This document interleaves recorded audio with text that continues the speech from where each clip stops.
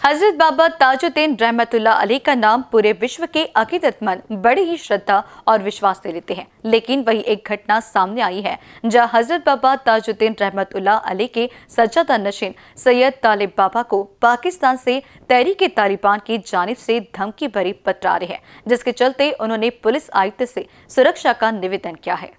जब इस मसले में बेसियन की टीम ने सैयद तालिब बाबा से बातचीत की, उस वक्त उन्होंने बताया कि पिछले कई दिनों से उन्हें पाकिस्तान से तहरीक ए तालिबान की जानिब से निरंतर धमकी भरी पत्र आ रही है। उसी श्रेणी में अब एक पत्र तालिबान संगठन से उन्हें आया है, जहाँ बाबा को इस ईद के बाद जान से मारने की धमकी मिली है। तो वही उनके परिवार को भी खत्म करने की बात संबंधित पत्र में की गई है, जिसके चलते सैयद तालिब बाबा ने देश के गृह मंत्री अमित शाह साथ ही राज्य के गृह मंत्री एवं उप मुख्यमंत्री देवेंद्र फडणवीस से भी इस संबंध में निवेदन किया, जहाँ उन्होंने पत्र के माध्यम से सुरक्षा प्रदान करने की बात कही है।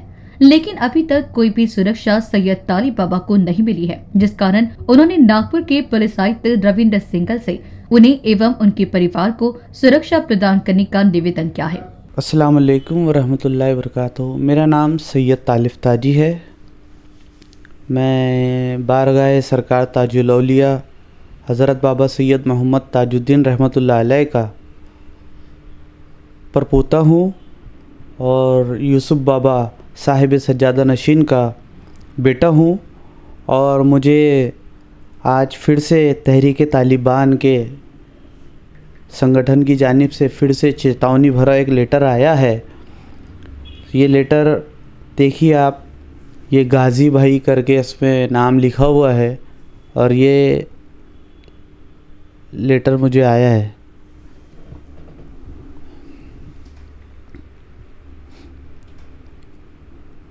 और इसके अंदर बाकायदा चेतावनी दी गई है कि इसके पहले भी हमने लेटर प्राप्त आपको किए हैं और उसके अंदर में बोला गया है कि ये ईद बाद मुझे मारा जाएगा, मेरी फैमिली और मुझे सबको थ्रेट दिया जाएगा।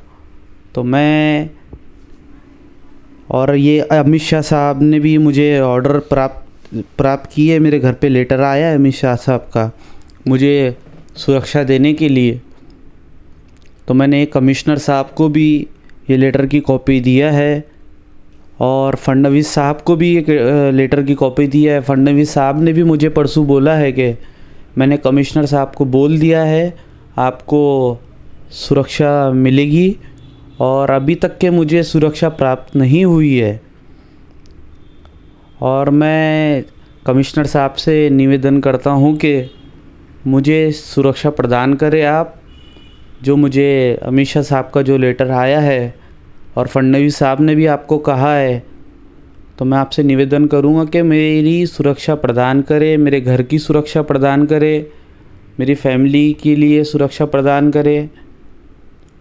और मैं जितने भी डिपार्टमेंट के लोग हैं, सबसे यही कहूँगा कि कोई कोई मंत्री को, कोई नेता को ये लेटर आता है तो उसके लिए अभी तक के पूरा इंडिया में बवाल हो जाता है। उसको अभी तक के पूरी हर चीज़ की फैसिलिटी उनको मिल जाती है। मैं तो एक संत इंसान हूँ और एक धार्मिक धार्मिक स्थल का एक ताजुद्दीन बाबा का परपोता हूँ। तो मैं भी एक संत इंसान हूँ।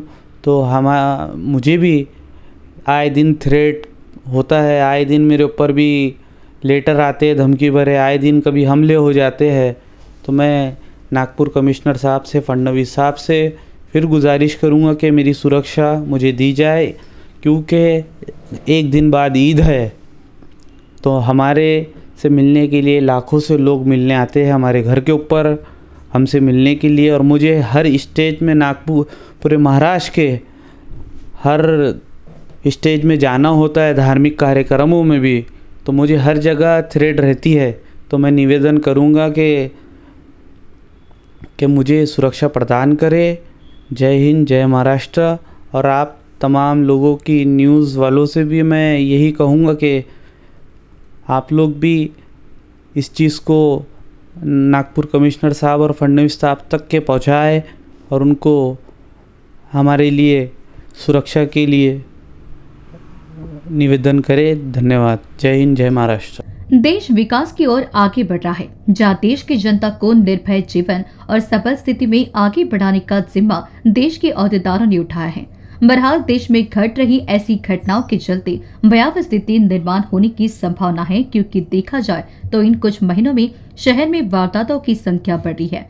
इसी बीच इस मामले में मात्र शहर नहीं तो देश की सुरक्षा पर भी सवाल मौजूद क्या है, जिसमें यह देखना काफ़ी रोचक रहेगा कि पुलिस और सुरक्षा विभाग सैयद तालिब बाबा के इस मसले को कितनी गंभीरता से लेती है और उन्हें सुरक्षा प्रदान करते हैं क्या? कैमरा पर्सन अजित कुंवर के साथ मनीष टेमरी की report. DDS Academy, the most trusted institute in Nagpur for JEE NEET. Top faculties for all subjects. Air-conditioned classrooms with projectors and CCTV. Doubt sessions and study hours. Regular parent-teacher meetings. 100 plus tests in 2 years with discussion. Consistent results for more than 30 years. What are you waiting for? The next batch of 2-year JEE NEET for 10th pass students starts on 7th April 2024. Special early bird discount till 25th March. Enroll now. For more details, call